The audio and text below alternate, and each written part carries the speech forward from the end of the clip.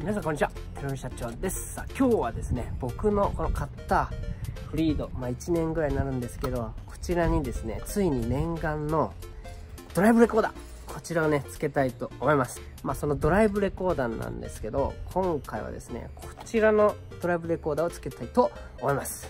ベレーノベータさんですね、ブランドの、えー、リアカメラ付きドライブレコーダーこれですね、前と後ろのカメラがついて、なんと1万5000円。コストパフォーマンスはかなり素晴らしいドライブレコーダーになっております。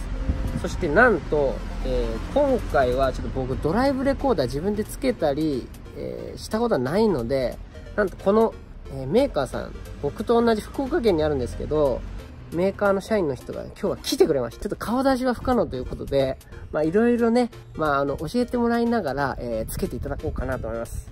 かなりね、えー、Yahoo とか、Amazon とか、楽天市場さんとかで、売れてる商品、まあ人気商品ということで、まあ、期待してちょっと、えー、つけてもらいたいと思います。じゃあ、つけてる様子をね、ちょっとずつ撮影しながら、まあいろいろ見ていきたいと思いますんで、よろしくお願いします。えっ、ー、と、今回、えー、リアカメラですね。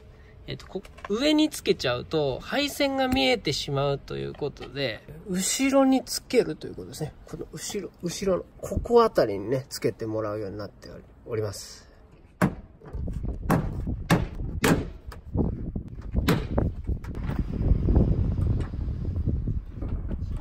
ういうの普段やられてたんですね。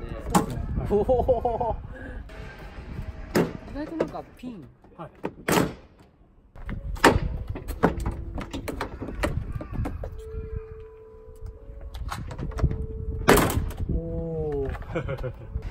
で配線をここからこの穴を通してこう来て、えー、ここからこう来ます。これリアカメラですね。これリアカメラ。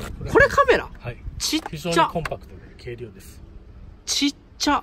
ちっちゃいっすね、はい、これがねリアカメラ。うん。どうやって作るのこれは滑りをねよくするためにしてる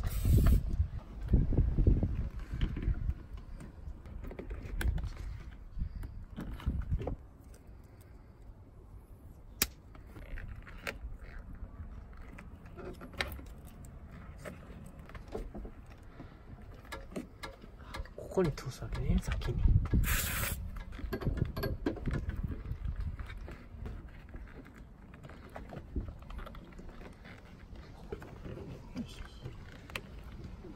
おお研いでるか。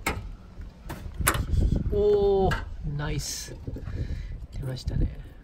でも今かかった時間通すだけ2分ぐらいですねそうっすね。車が分かってればねもっと早いですけどね。初めての車だとね。ああなるほど。慣れてる車とやっぱ慣れてない。いやでもめちゃくちゃ速いですよ。はい。でこの紐通して。おお出た。出ましたね。配線が出ました。これをすることで配線が出ずに後ろにもリアカメラが付けれるとね。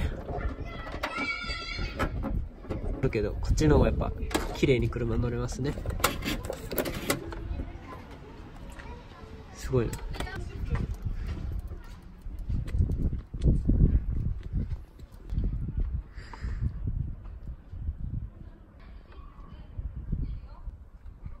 にしましょうかね。うん。もうお任せします、場所は。もう全然。ここにしましょう。はい。ここ外して。ちょっと外します。はい。ここ、ここ取れるんかい。すごいな。ブチ、のりがついてるんで結構気をつけながら。コードを通していくってことですか？そうですね。おおなるほど。前もフロントまでケーブルを。へえ、こんなところから。これは取りやすくなるわけですか？ああ通しようか。次は。そして配線を通していく。通して糸は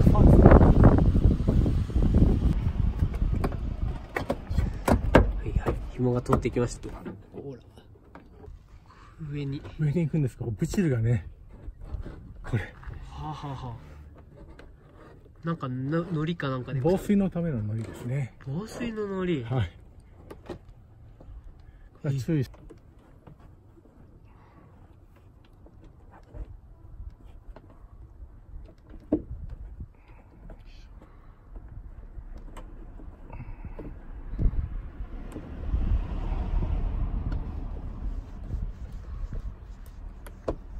ましょうかねここね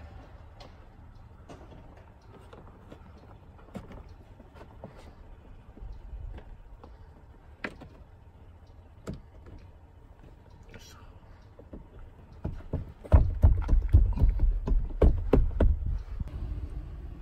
配線だいぶ通ってきました。前まで来ましたね。前まで。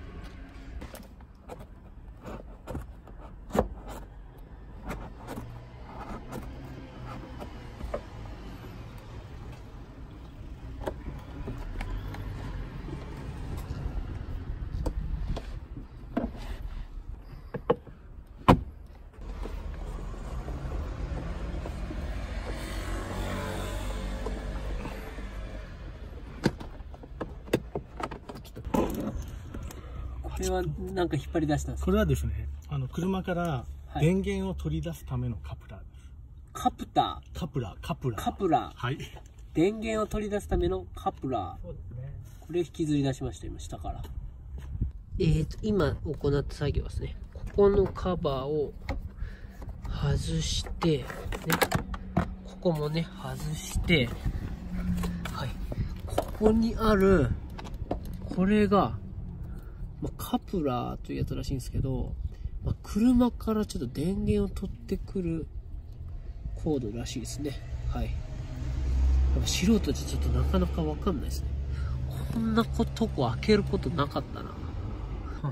これを入れることによってこれはあれですか？別売りなんですか？これはあのヤフーオークションとかいろんなショッピングサイトで売ってますああ、そうなんですね。はい。じゃあ、常時電源やアクセサリーとかですね。いろんな電源が取れます、なるほど、なるほど。はい、フリードには準備されてます。なるほど。じゃあ、えっ、と、あの、あのドライブレコーダーを買って、これもないと、いやあるいはオーディオの裏から電源を取ればいいですねその場合は。あ、じゃあこれが必要っていうことではでもないですね。すね。これがあるととても楽に電源が取れるという。へえ、はい。あ、これがあった方がいいと。そうですね。なるほど。はい。ちなみにいくらぐらいするんですか、これは？えー、700円ぐらいですね。あ、そんなものなんですね。はいこれ700円ぐらい。してますあ、これ今電源を確認したんですね。ねあの基本的にはドライブレコーダーシガーソケットで装着できるんですよ、うん。ここに取り付ければつくんですけどあ、もっと。ケーブルが見えたらかっこ悪いでしょはい。はいケーブルが見えたらかっこ悪いから、こっから。そうだからもうシガーソケットに差し込むのでいいのであればすぐ作業は終わるんですけどああ、なるほどやっぱり。プロの仕事はそっか、シュガースケットで取れば本当は、もう、もうもうすぐにでも終わるんですねすですけどいや、プロは違うっすね。うんそうですね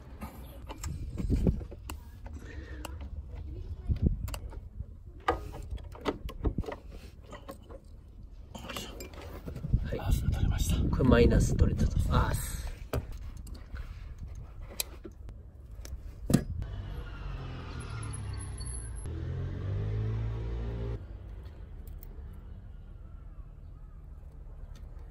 すシガーソケットのメスですねこれ同じもの。はい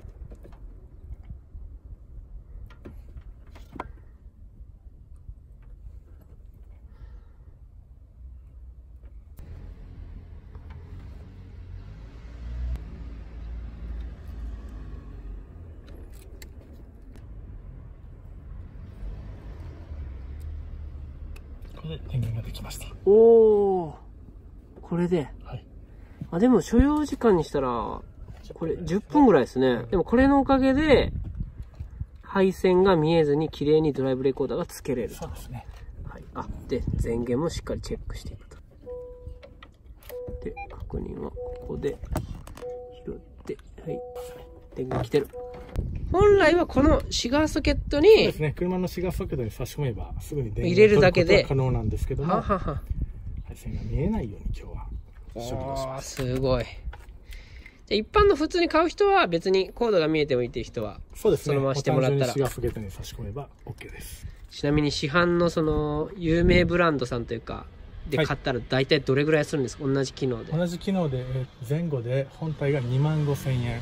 2万5千円。で装着がまあ1万5千円から2万円ぐらいでしょうね。ああじゃあ5万円ぐらい準備しとかないとくっつけられない、はい、なるほど来ました来ました来ました。はい。ちょ僕ちょっと手伝おうか。はい。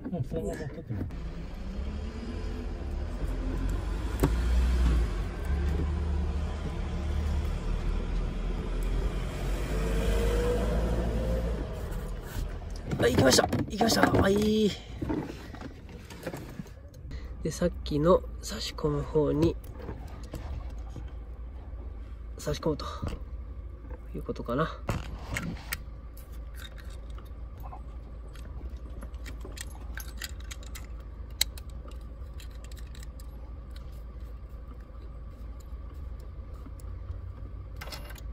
お、これ電源取れましたと。なるほど。あ、どうし電源入れたらもう自然に動き出すってことですか？機械は。はい、おー、すごい。車から電源が取れました。すごそんなとこ外れるんや。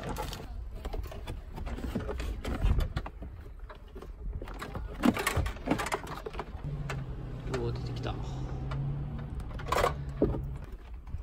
っとあれですね。本当はね、本当はこう顔してやるんですけど。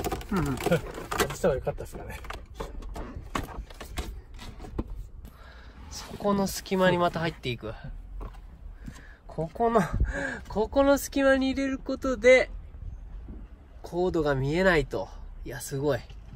これがドライブレコーダーの本体ですね。本体。意外とちっちゃいですね。小さい。ものすごく小さいですね。ですね、はい、ちっちゃ。このような形でつきますコードが全然見えないままつくもんなんですね。そうですね。さっきの後ろのやつと今、そうですね。繋がりましたね。ちょっと繋げてみましょうか。繋げてみる。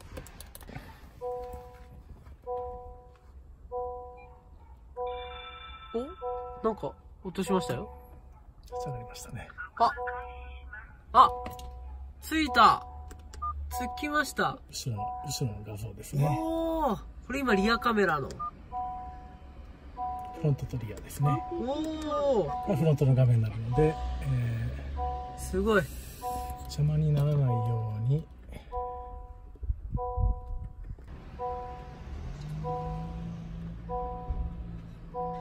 はい。はい、OK です。ちょっと貼りましょう。シリコンオフですね、これは。シリコンオフ。滑り出したらつかないから。試行譜で吹いて。そうですね。でドライブレコーダーを。もう一回確認しましょうか。装着。装着。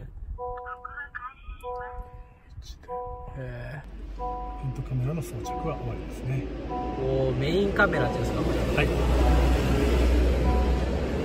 まあコードが出てる部分としてはもうここだけと。そうですねまあ、非常に綺麗に取り付けていただきました。普通の人だったら、ここからタラーっと。タラーっと下がって、シガーソケットに来ると。ね、普通の人だったら、ここからタラーっと下がって、ここから電源を取っちゃうと。そうですね。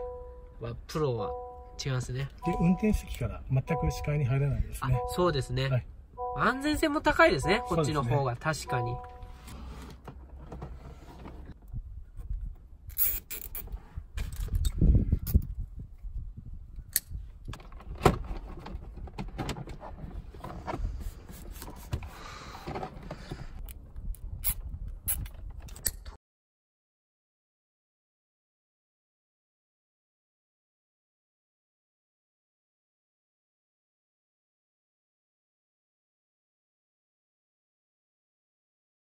すごい。わあ、もう全然。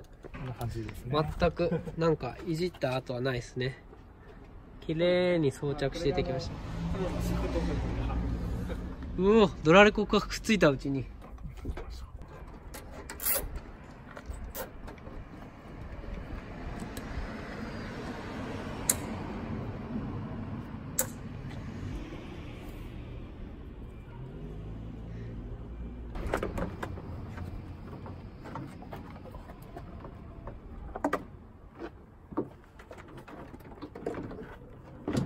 おお、あ、はまったはまった。パチンと。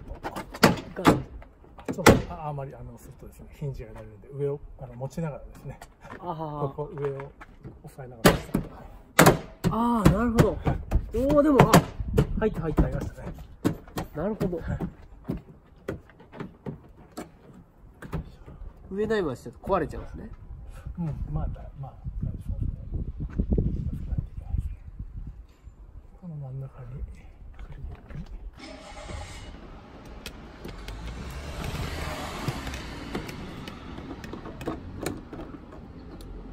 よし完成ですねリアカメラ完了。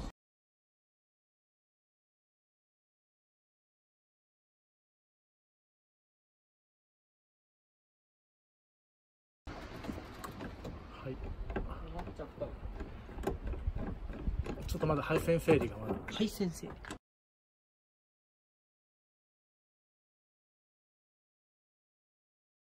今からねリアカメラついたんでちょっと点検っすね。映ってんのかな。これ今リアカメラリアカメラですね。このカメラにするかな。反射してる。本当とちょっと逆光ですかね。まあちょっと。夜夜がいいかもしれません、ね、またちょっと僕個人で、はい。まあ、ちゃんと映ってると。素晴らしい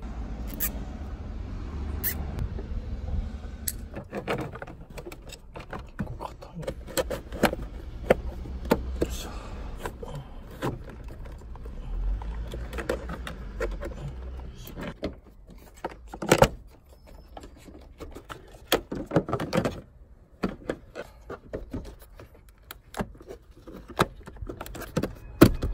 おおなりましたね配線も。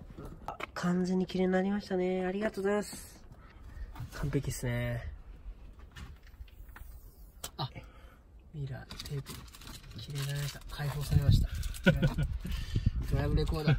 今日から頼むよ。安全運転。打ちますね。でもう少ししたらですね。はい。あの、えー電源ユニットっていうのが入ってくるんですよ。ドライブレコーダーの電源ユニット。はい。今はエンジンかけた時しかはい。録画されないでしょ、はい。それを駐車中も1時間録画するとか2時間録画するとか。えそんなことができるんですか？6時間録画するとか12時間録画するとか。そのバッテリーから直接電源を供給してあげてそういうユニットがもうすぐ入ってくるんで。